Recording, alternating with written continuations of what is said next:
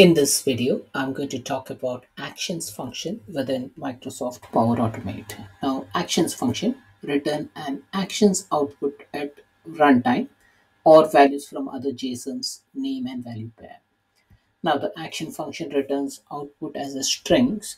It expects a parameter, an input parameter, which is specifically an action name. So if you see the syntax over here, the syntax states actions and in single quotes the action name. Now the basic use case for actions method is you know it is used to get an error message uh, within an action. So there are some related function with regards to action action body action outputs. Now this is not uh, directly related to the actions method but this is somewhat different okay? But it bears the same name, right? Action, action body, action output. But in this example, we are just going to talk about actions method. So let's jump into the screen.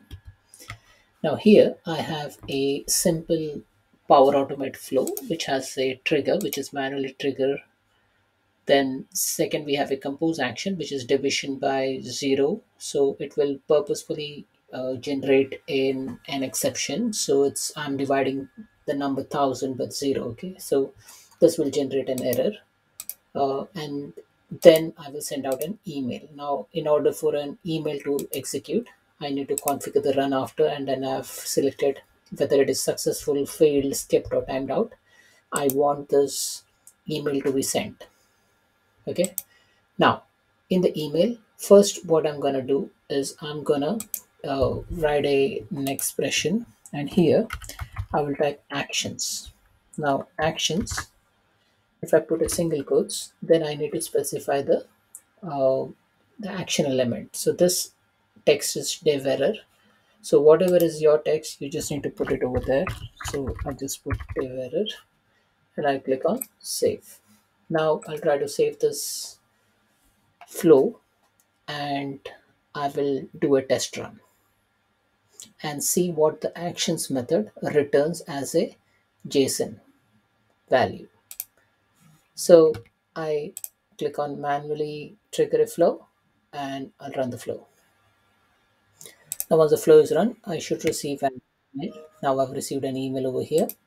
Now here it has given me a nice JSON with the error. Okay.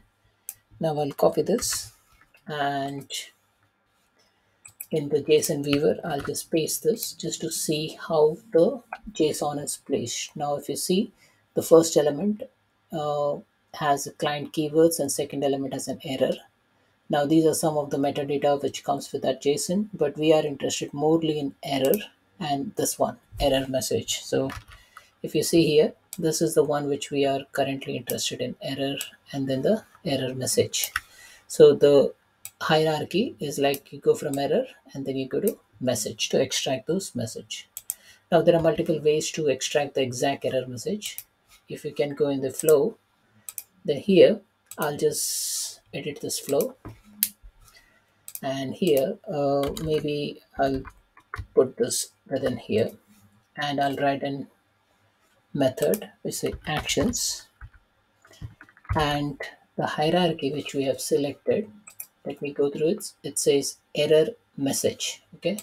So here if i come here i write an expression as the actions and then single quotes uh dev error which will remain as it is and error message. So i can put a question mark and then say there are multiple ways to write this expression. So maybe i will just put error. And again question mark single quotes and message. And let's see whether this works or not.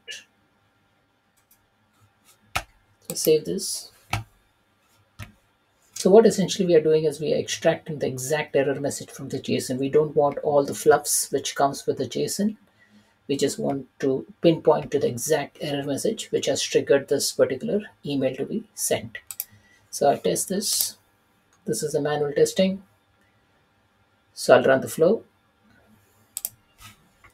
And the flow is run. Let me see if I receive an email. and I have received an email. And if you see here, this one is an exact error message. Okay. So this is the complete JSON, but this is the exact error message. So what we have done, we have extracted the JSON and we pass through the JSON and then we have nailed down to error and then to the message. As you see over here from here error to the message. And that's how you can uh, get the uh, error message exactly pinned down. So that's it folks. This is all about actions method action method returns and actions output at runtime or values from other json name and value pair. Thanks for watching